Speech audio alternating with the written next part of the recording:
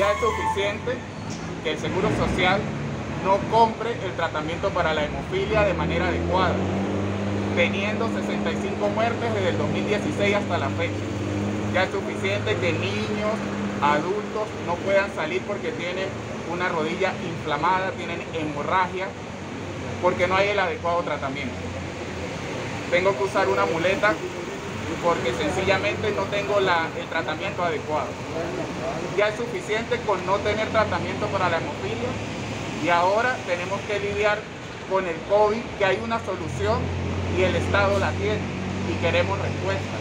Queremos saber que no solo la hemofilia, sino todas las enfermedades crónicas, ¿cuándo van a recibir la vacuna? ¿Cuál es el plan de priorizado? ¿De qué lugar nos toca? Porque ya llegaron vacunas al país. Si no compran tratamiento para las enfermedades crónicas y está la del COVID, aunque sea tenemos que acceder a eso y queremos saber cuándo.